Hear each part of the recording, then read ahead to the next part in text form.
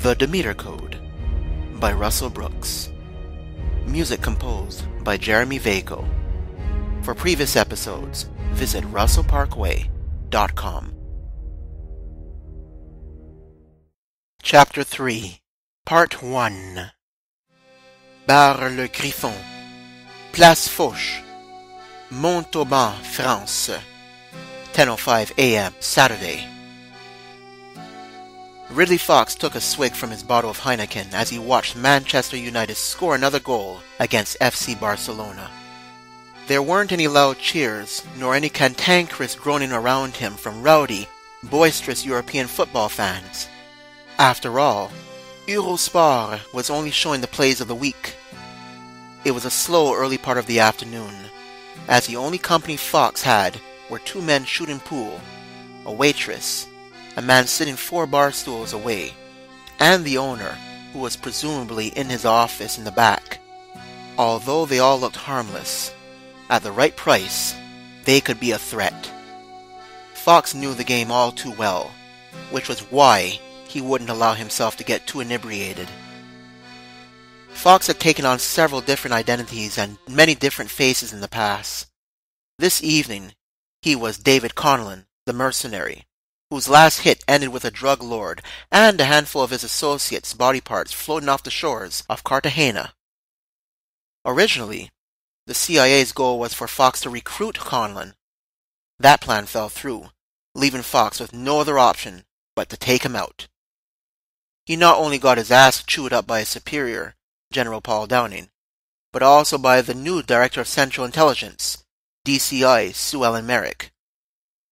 For the CIA, a killer was an asset. For Fox and for anyone else who had been a SEAL, or in his case, a former Joint Task Force 2 warrant officer, otherwise known as a JTF 2, Canada's version of the SEALs.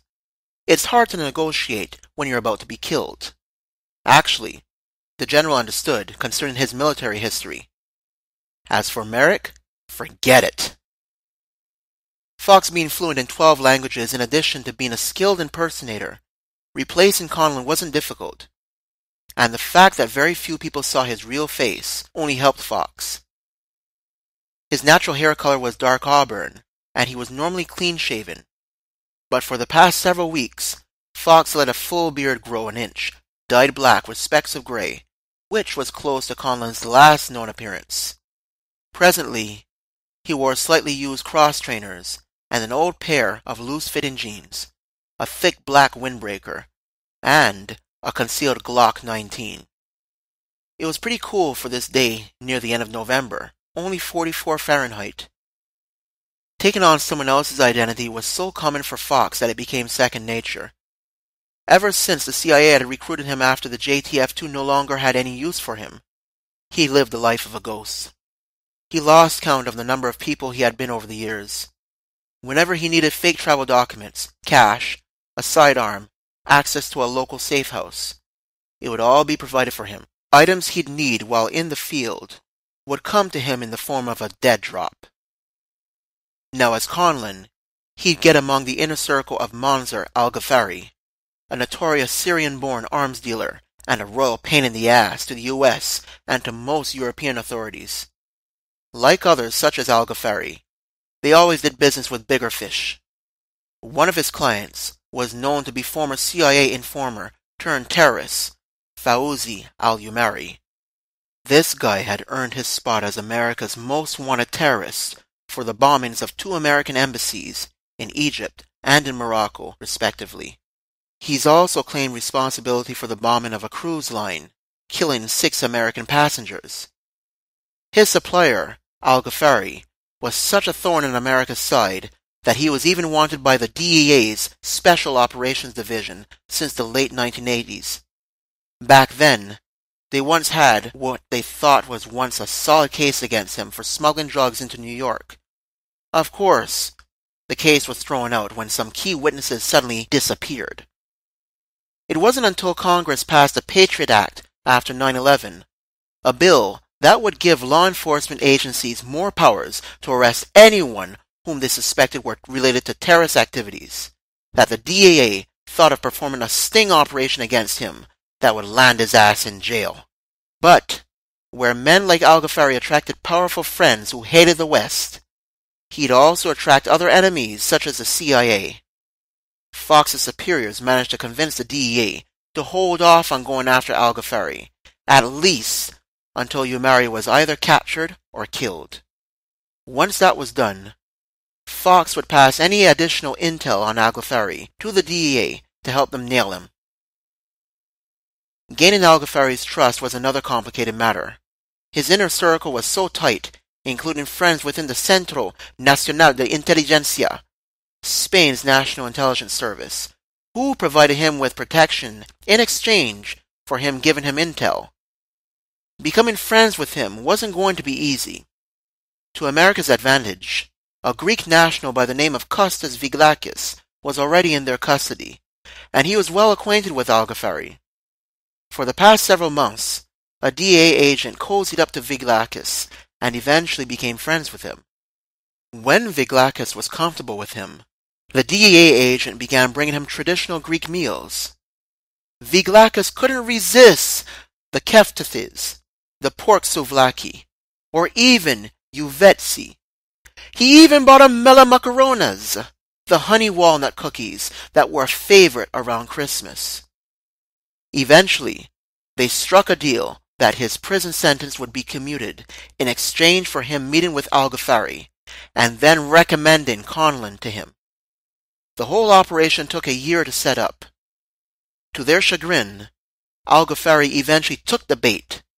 From what Viglakis told the DEA, Algafari was interested in having Conlon to do little things for him. Fox took another sip of his Heineken, and after he put it down, he couldn't help but stare at it while wondering when he'd be contacted. He doubted that Algafari would leave his palace-like mansion in Marbella to meet him here. One of his associates would most likely be doing so instead. And even though it came with the job, Fox hated waiting on others. The casual observer may see Fox focusing on a Heineken bottle. However, from where he sat, he had a partial view of the front door, watching who came and who left, and the rest of the bar as well. If anyone thought that they could jump him, they'd be limping away. That's if he afforded them the chance to do so. The man who sat four bar stools away began to be of concern. He had checked his cell phone three times in the past two minutes. After the last time, he texted something. Fox also noticed that he had two beers while barely watching the television, and he wasn't speaking to anyone. He doubted that the man, if he was involved in some form of ambush, would be directly participating with two beers in his system. He'd be too busy taking a piss that he'd end up messing up the timing of a planned hit. However, he may be a watchman for a hit. Fox never once stared in his direction, but he caught him stealing glances at him at least five times. Whatever he was up to, Fox would let him make the first move.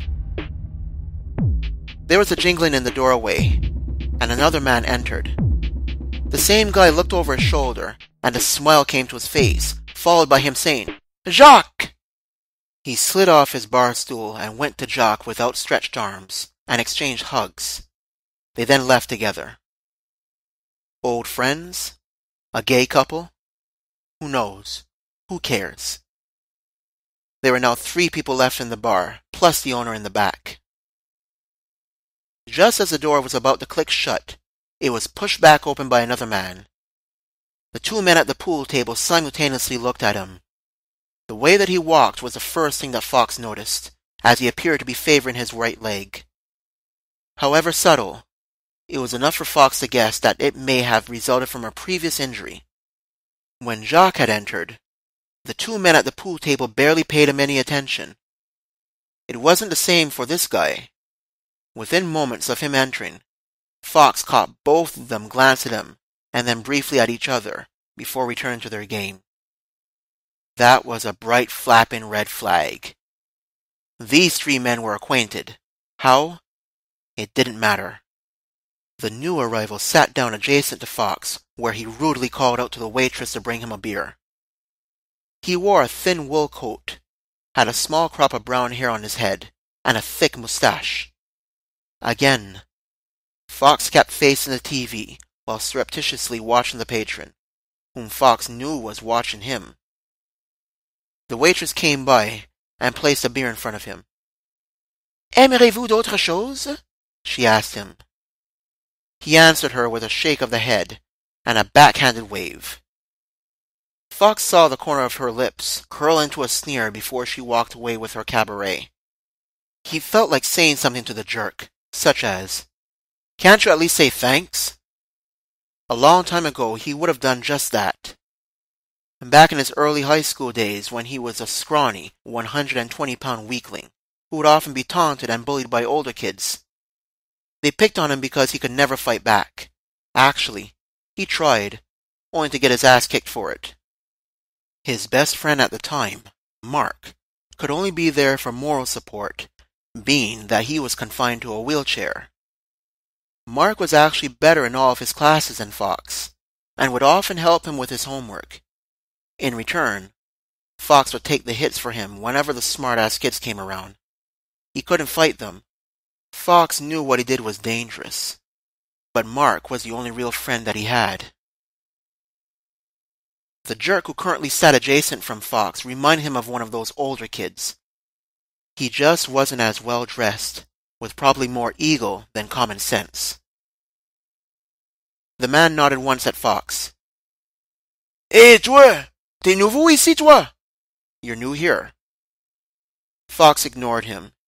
He expected the man to start off by calling out to him, and he'd be persistent in doing so until Fox acknowledged his presence. The man slapped the counter twice with an open palm. Toi là! Je te parle! Fox took out his Android and pretended to check it, then put it away to watch the television, which was showing a dish soap commercial. The man slid off his bar stool, took his beer, and made his way over to Fox, who noticed the waitress disappear through a door behind the counter.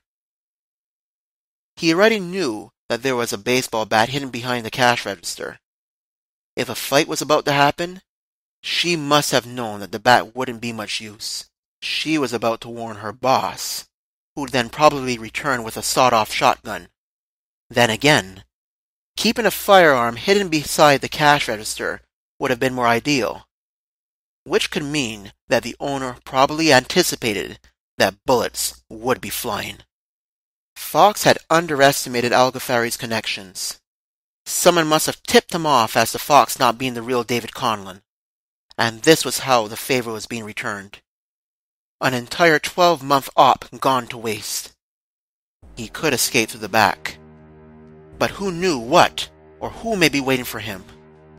Getting out through the front was the simplest and smartest route. Aside from Mustache Man, the pool players would attempt to block him, and aside from their sticks, they most likely had their sidearms duct taped underneath the table. This concludes Chapter 3, Part 1. Stay tuned for the final episode of The Demeter Code, coming next week.